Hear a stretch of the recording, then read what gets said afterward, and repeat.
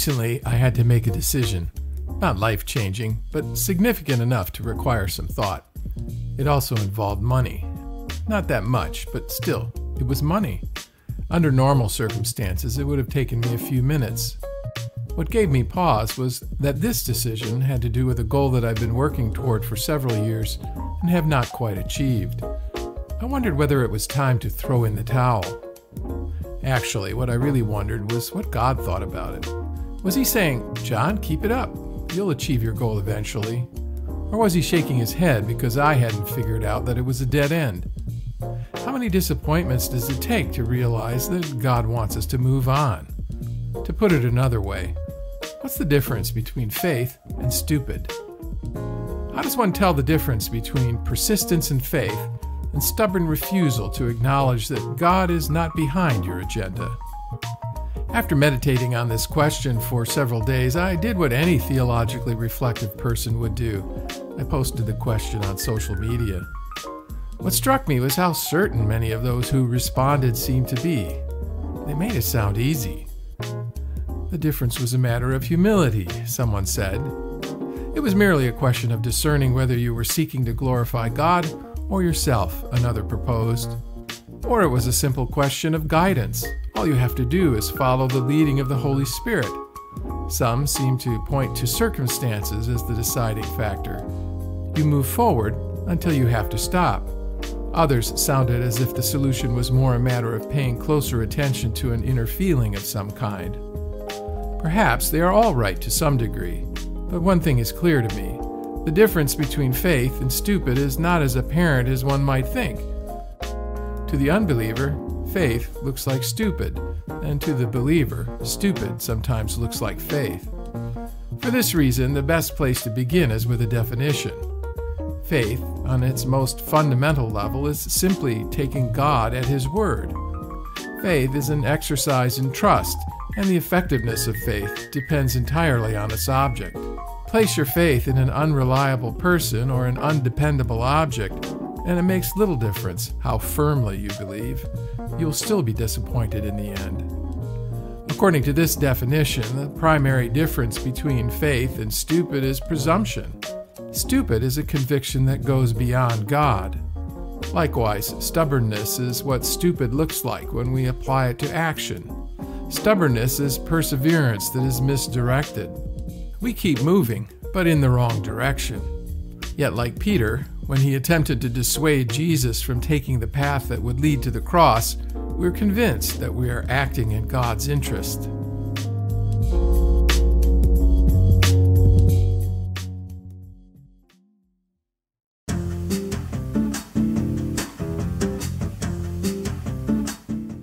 If stupid sounds harsh to modern ears, perhaps we would prefer the Bible's term for this, which is folly. It sounds more elegant, but it's really no better. Among other things, folly's most fundamental characteristic is its lack of common sense. Even as fools walk along the road, they lack sense and show everyone how stupid they are, Ecclesiastes 10:3 complains. The fool ignores the obvious, the signposts are there, but the fool doesn't bother to consider them. He prefers to go his own way. It can be hard to discern the difference between persistent faith and stubborn refusal because we are prone to folly. Like Peter, our natural bent is to be of the wrong mind. We often replace God's concerns with our own. The good news is that there is an antidote for stupid. The cure for folly is wisdom, and the Bible tells us that wisdom is offered freely to any who will take it. James chapter 1 and verse 5 promises, If any of you lacks wisdom, you should ask God, who gives generously to all without finding fault, and it will be given to you. James goes on to qualify this wildly generous promise by warning that when you ask, you must believe and not doubt, because the one who doubts is like a wave of the sea, blown and tossed by the wind that person should not expect to receive anything from the Lord.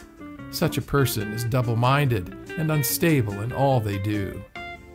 I used to think that his point was that to receive this wisdom, we must believe that God will give it to us before we ask. There are similar promises in Scripture, but I suspect that there is more in view here.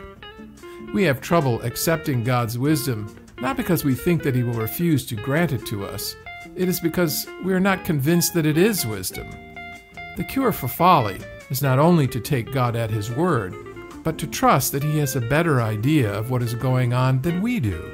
Where God's directive is clear, we do not need to question, nor do we necessarily need to understand why He has commanded it to be so. It is enough to know that it is God who has told us what to do. But where there is no explicit directive, God calls for a different kind of faith. We might call this cooperative or even collaborative faith. The journey of the Christian life is more than a simple matter of command and response. As those who have been created in His image, God grants us the dignity of making plans and choosing options. We set goals and strive to reach them. We may move in one direction, then decide that it is not the right one and change course. As Proverbs chapter 25 and verse 2 says, it is the glory of God to conceal a matter, to search out a matter, is the glory of kings.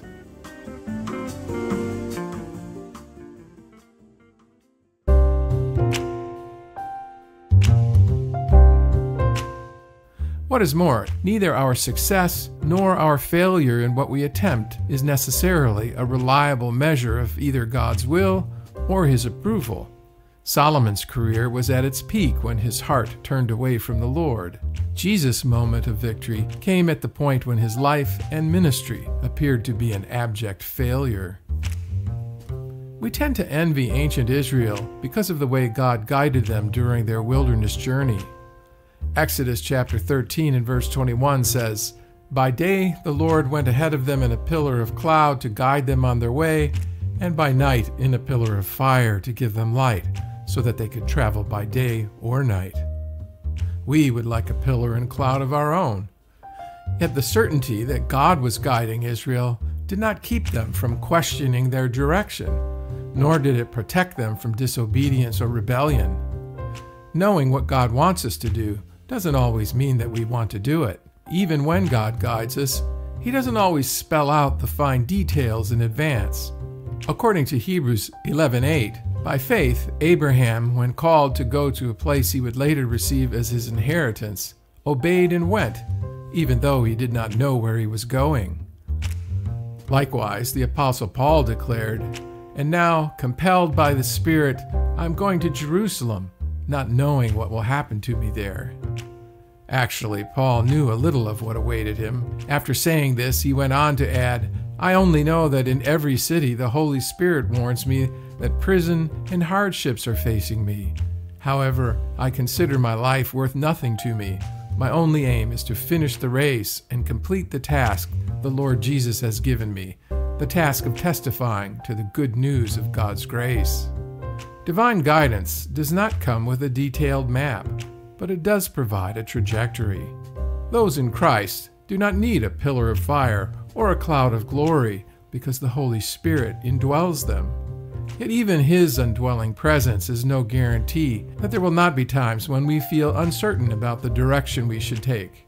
Acts 16 describes how Paul and his companions traveled throughout the region of Phrygia and Galatia because the Holy Spirit kept them from preaching the word in the province of Asia. It would be interesting to know exactly how the Holy Spirit closed the door, but Scripture doesn't tell us. Luke says that when they tried to enter Bithynia, the Holy Spirit wouldn't allow them to go there either. One almost gets the impression of Paul and his team bumbling around Asia, trying one direction and then another, until God finally sends him a vision in the night of a man of Macedonia standing and begging him to come over to Macedonia and help us. In Acts chapter 16 and verse 10, Luke writes, after Paul had seen the vision, we got ready at once to leave for Macedonia, concluding that God had called us to preach the gospel to them.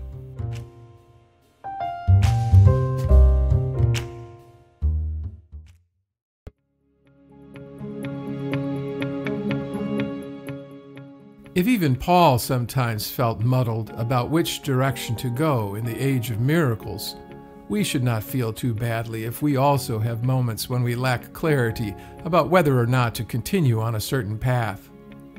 When it comes to what God has written, faith is a matter of taking God at His word, And when it comes to those things that God has not spelled out for us, faith is a matter of trusting that He will still guide us, using ordinary and sometimes even extraordinary means to take us where He wants us to go. Desire, circumstances, and the mysterious prompting of the Holy Spirit all work together to move us along the path that God has laid before us. And even if we happen to make a few missteps along the way, the destination is still sure because we are not traveling alone. I am with you always, Jesus says, to the very end of the age.